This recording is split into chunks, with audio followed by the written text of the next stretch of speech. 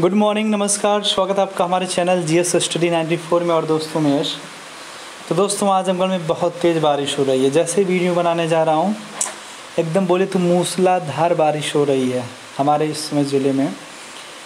तो दोस्तों, अब आगे चलते हैं। ये जो एडिटोरियल है, जो संपादकीय जनसत्ता का है। और इसे लिखा है राजकुमार भारद्वाज जी ने, और जो आज का विषय है, वह शिक्षा का स्वरूप और सवाल। मैं आपको सच्चाई बताऊँ एक चीज़। हमारे देश में एजुकेशन जो सिस्टम है, पूरी तरह से करप्ट है। ये जानते हैं इसका व्यवसायीकरण हो चुका है। व्यवसायीकरण की वजह से दोस्तों, हमारे देश में जो अराजकता फैली है, शिक्षा जैसे मतलब शिक्षा जैसा महत्व मतलब पूरी दुनिया चाहती है कि हमारे यहाँ ज़्यादातर जो हमारे देश के नागरिक हों, शिक्षित हों, सभ्य हों पर हमारे भारत जैसे देश में लोग चाहते हैं कि गिने चुने को शिक्षा मिले। यदि ऐसा नहीं होता तो बी टेक एम की पढ़ाई बी बी एड की पढ़ाई बी टी सी की पढ़ाई मतलब सरकारी जो सीटें होंगी, सौ होंगी, डेढ़ सौ होंगी, उसके बाद कुछ मतलब नहीं है। चालीस हज़ार, पचास हज़ार आप पर सेमेस्टर भरिए। कहीं कहीं तो एम बी ए की फिर दो दो लाख पर सेमेस्टर, छः छः लाख पर सेमेस्टर है। ये एजुकेशन नहीं देना चाहते हैं। ये आपको एक्सप्लॉइट करना चाहते हैं, आपका शोषण करना चाहते हैं। इसीलिए ऐसे लोगों से सावधान हों। और इस पर दोस्तों, सरकार को चाहिए कि तमाम तरह के रूल रेगुलेशंस तमाम तरह के एक्ट बनाए, पर नहीं, सरकार को भैया बहुत बड़ा रेवेन्यू जनरेट हो रहा है। आपको पता होगा, अगर सरकार ऐसा नहीं होता तो लॉकडाउन में जहाँ पूरी तरह से चीज़ें बंद थी, पर दारू की दुकानें खोल दी गई। मतलब अपने फ़ायदे के लिए सोचिए, वो कितना बड़ा रिस्क ले सकती है। कि आप दारू के ठेके पे जो है कि एक एक किलोमीटर लाइन लगाइए, उसके बाद दारू लेके अपने गाँव, घर जाइए। जब घर जाएँगे तो पूरा परिवार संक्रमित होगा आपके माध्यम से। यदि और कोई चीज़ लेने जा रहे हैं, दवा भी लेने जा रहे हैं तो लोग पीट रहे हैं। यदि पर्ची नहीं तो इतना मारेंगे। बीच में तो पर्ची जब तक दिखा रहे थे तो पचास लाठी मार दे रहे थे पुलिस वाले। तो ये सब समस्या है हमारे देश में। तो जहाँ गलत हो रहा है, उसका विरोध करिए। यह है एक सच्चे और सही हिंदुस्तानी की पहचान। सही नागरिक की पहचान। तो आगे चलते हैं।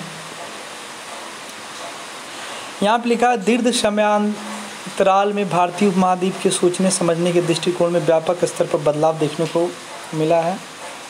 यवन और पाश्चात्य संस्कृति के आक्रमण से भारतीय संस्कार और परिभाषाओं का तेज़ी से क्षरण हुआ। इसका प्रभाव यह हुआ कि आज पाश्चात्य पाश्चात्य संस्कृति का मतलब होता है दोस्तों, जो पश्चिमी सभ्यताएँ हैं, जैसे अमेरिका हुआ, ब्रिटेन हुआ, ब्राज़ील हुआ ठीक है? उसे पाश्चात्य संस्कृति कहते हैं। या यानी पश्चिम की सभ्यताएँ। संस्कृति के भौतिक अनुभवों पर आधारित संस्कृति से शिक्षित, प्रशिक्षित भारतीयों की भरमार हो गई है। इनमें अध्यात्म आधारित संस्कार का नितांत अभाव दिखता है। मोटे तौर पर अकादमिक शिक्षा और कौशल प्रशिक्षण का मिश्रण लाभकारी प्रतीत होता है। इससे जीवन यापन की सुगमता आसानी से संभव है। किंतु इस प्रसंग की कठिनाई यह प्रतीत होती है कि शिक्षण प्रशिक्षण से नियोजन व्यक्ति का अंतिम लक्ष्य बनता जा रहा है।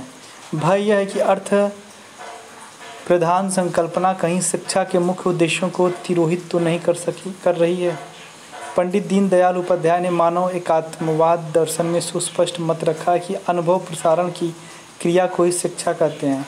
यदि शिक्षा न हो तो समाज का जन्म ही न हो। यदि हम प्रस्तर युग का प्रस्तर युग का पृष्ठ अवलोकन करें तो पता चलता है कि मानव के विकास क्रम में मानव ने प्रारंभ में विभिन्न प्रकार की क्षतियों की कीमत पर अनुभव प्राप्त किया। कभी कभार क्या होता है दोस्तों ना आ, कुछ लोग कहते हैं कि कभी कभार जो बड़े हैं जो बुज़ुर्ग हैं उनके अनुभव को लेकर कुछ सीखना चाहिए। अगर बार बार आप यदि गलतियाँ ही करके सीखने का प्रयास करेंगे ना तो हो सकता है कि आपका समय बर्बाद हो और कभी कभी गलतियाँ कुछ ऐसी हो जाती हैं ना कि फिर आपका जो दिशा है और जो उद्देश्य पूरी तरह से बदल जाता है। इसलिए कुछ बातें हैं, बुज़ुर्गों से राय लिया करिए, हीरो मत बना करिए। नहीं, हम गलतियाँ करके सीखेंगे। नहीं भैया, जो आपके बड़े हैं, परिवार के बुज़ुर्ग हैं या बड़े भाई हैं, वो भी अपने जीवन में बहुत कुछ देखे हैं, बहुत कुछ सीखे हैं। ठीक है, आपसे वो हो सकता है बेहतर और अच्छी ज़िंदगी जी हों। इसलिए उनके अनुभव को कभी कभार आप अपने अंदर अनुभूत किया करिए। उनसे कुछ सीखा करिए। आहार जुटाने और उसके लिए आवश्यक अस्त्र शस्त्रों का विकास हुआ। इसके शोध और अन्वेषण में मानव का पूर्ववर्ती अनुभव काम आया, जो पूर्व ज्ञान होता है। यह अनुभव पीढ़ी दर पीढ़ी स्थानांतरित हुआ। उसके बाद के अनुभवों का जीवन की अन्य आवश्यकताओं और चुनौतियों के संदर्भ में परिमार्जन किया गया और परिशोधित अनुभव भावी पीढ़ियों को हस्तांतरित किए गए। आपको पता है, कुत्ता इतने साल हो गया, फिर भी यदि एक कुत्ते आप लेकर जाइए, कुत्ते का बच्चा जो होता पिल्ला, आप उसे पालिए, पोषिए तो उसके अंदर जो गुण होगा, वो वही आएगा, एक परोपकारी का, एक रक्षक का। क्योंकि उसके डीएनए में कई साल से उसे उसी तरह बनाया गया, उसी के अनुरूप ढाला गया, इसलिए आज उसका डीएनए उसी तरह है। इसलिए वो ज़्यादातर हिंसक प्रवृत्ति का नहीं होता है। इसीलिए वो परोपकारी होता है, आज्ञाकारी होता है। और यदि आप शेर का बच्चा जिलाएँ तो ऐसा करने के लिए आपको उसे परोपकारी बनाने के लिए हो सकता है उसके पाँच सात जैसे जो भी उसका वंश है पाँच सात वंश को, ठीक है धीरे धीरे क्रमिक विकास में डाला जाए, पालतू बनाया जाए, तब धीरे धीरे जाकर उसके डीएनए में थोड़ा सा बदलाव आएगा। नहीं तो दोस्तों, आप सोच रहे हैं कि जंगल से कोई शेर उठा लिया उसके बच्चे को, उसके बाद उसे पालतू बनाना यदि आप सोच रहे हैं तो कभी भी आप पे हिंसक होकर प्रहार कर सकता है, आपको मार सकता है। क्योंकि वो उसके डीएनए में है। अनुभव का यह हस्तांतरण उत्तरवर्ती काल में संस्कार और शिक्षा का स्वरूप गढ़ता गया, इससे समाज की रचना हुई। पंडित दीनदयाल जी की पीड़ा आज के संदर्भ में स्पष्ट जान पड़ती है।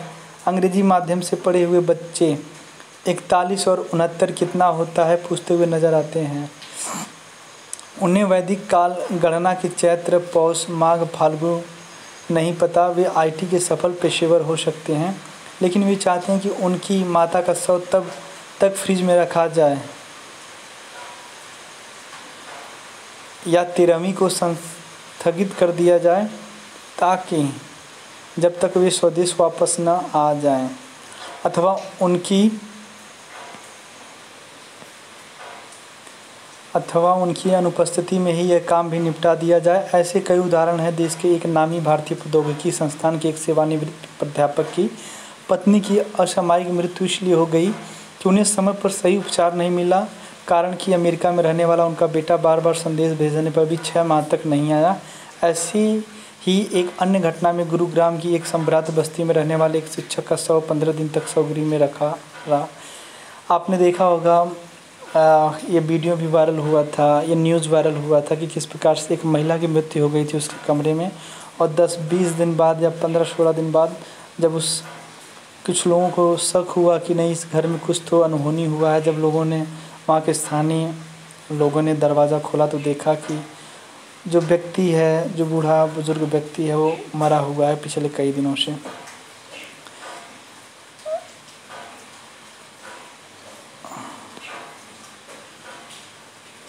ठीक है।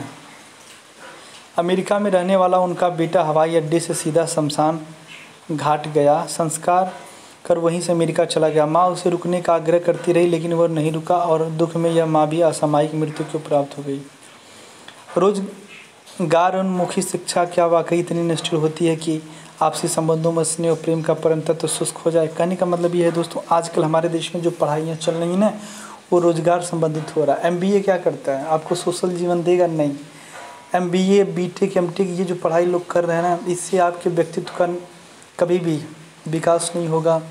समाज में क्या होना चाहिए वो चीज़ नहीं है। राजनीति में क्या होना चाहिए नहीं, इनसे कोई मतलब नहीं है। खाली यदि मात्र आपको रोज़गार प्रवृत्ति का एक बंदा बनाया जा रहा है कि भविष्य में आप कहीं भी रोज़गार पा सकें, उसके बाद अपना जीवन निर्वाह जी सकें। यदि आप सामाजिक चीज़ों का जब अध्ययन नहीं करेंगे तो इससे आप समाज से कटे रहेंगे, परिवार से कटे रहेंगे, जो आजकल हो रहा है देश में। तो हमें फिर दोस्तों, कुछ ऐसे पाठ्यक्रमों को हमारे देश में लागू करना पड़ेगा, जिनसे हमारे व्यक्ति, हमारे व्यक्तित्व का, हमारी पर्सनालिटी का विकास हो। एक ऐसा विकास हो जो बता दे कि समाज, परिवार और देश सबसे पहले आता है, उसके बाद कुछ आता है। या फिर शिक्षा की अवसंरचना और ब्रांड पर इतना बल दिया गया कि व्यक्ति से समष्टि के बीच संबंधों का प्रमुख अवयव विलोप हो गया। आज का युग वैमानन यांत्रिकी सूचना तकनीकी चिकित्सा सूक्ष्म जैविक तकनीकी आदि विभिन्न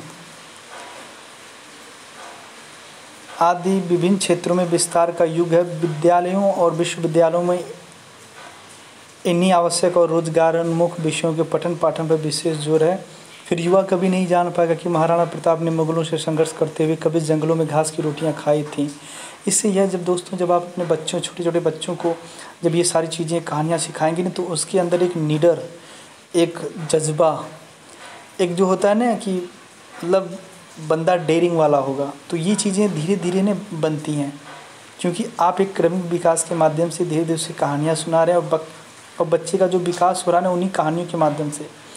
इसीलिए दोस्तों, आजकल के डेट में कोई जो है, ना खली पैदा हो रहा है, ना महाराणा प्रताप, न शिवाजी, न भगत सिंह, क्योंकि अब तो सारे लोग मोबाइलों में बिज़ी हैं। बच्चा उधर रख देंगे और हेलो हाई कर रहे हैं, इंस्टाग्राम कर रहे हैं और जो बूढ़े बुज़ुर्ग हैं, उनको ओल्ड होम एज में भेज दिए। तो कौन कौन बंदा है जो कहानियों के माध्यम से बच्चे का विकास करेगा?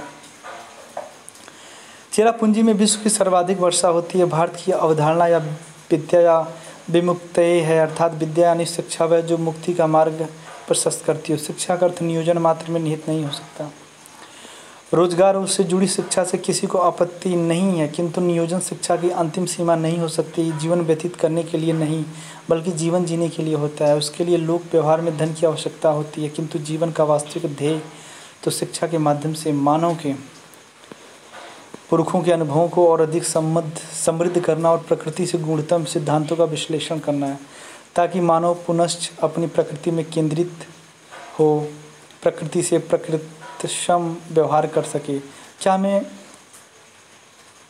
विश्व ऐसा ही मिला था कि बीजिंग में 24 घंटे व्यक्ति करने वाला, व्यतीत करने वाला व्यक्ति, अनचाहे ही 40 सिगरेट जितना धूम्रपान करने को विवश है?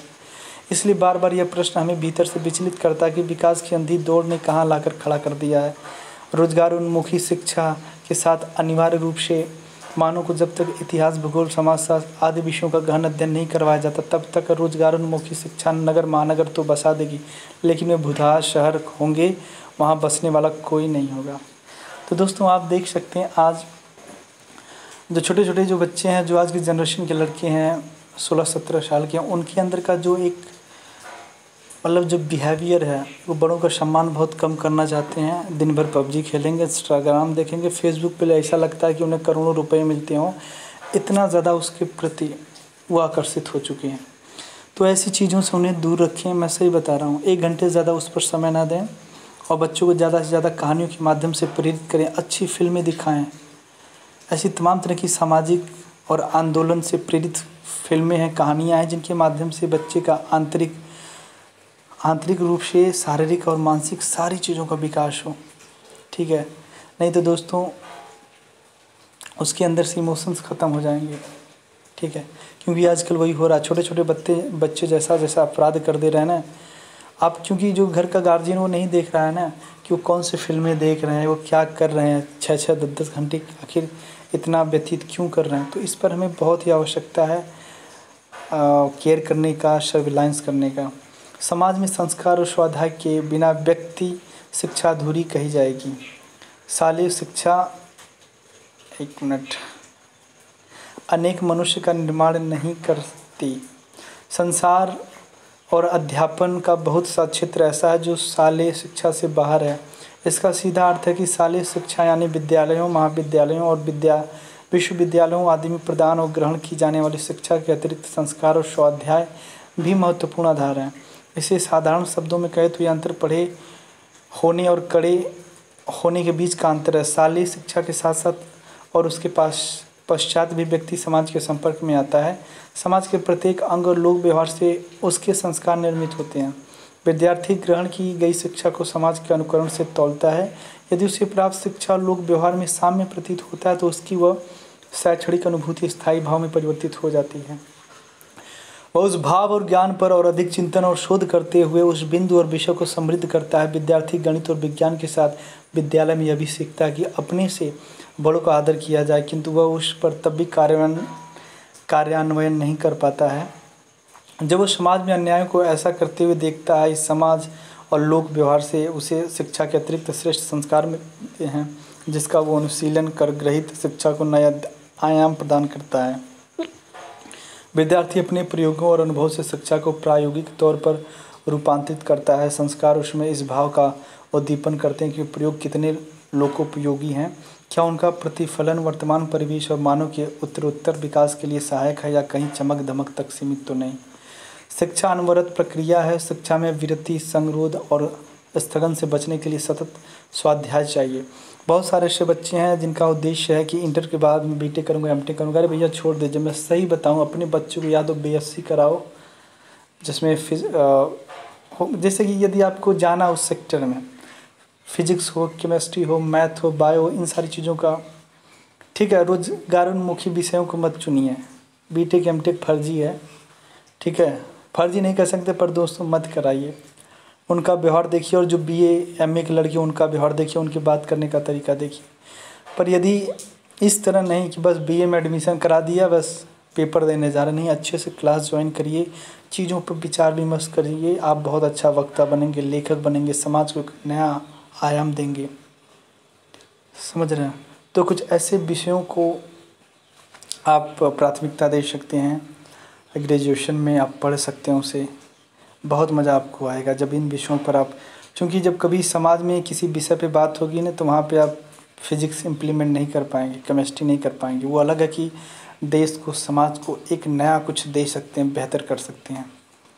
ठीक है?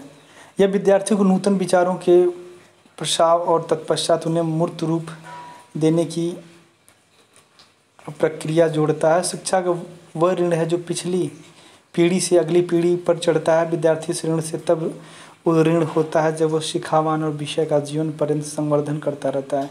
इस भांति संस्कारित शिक्षा स्वाध्याय के अध्ययन से निखारती है। विषय वस्तु ज्ञान का ओज बढ़ता है और जो सर्व हितकारी और सर्व सुखकारी होता है। आज के लिए इतना ही। नमस्कार, धन्यवाद।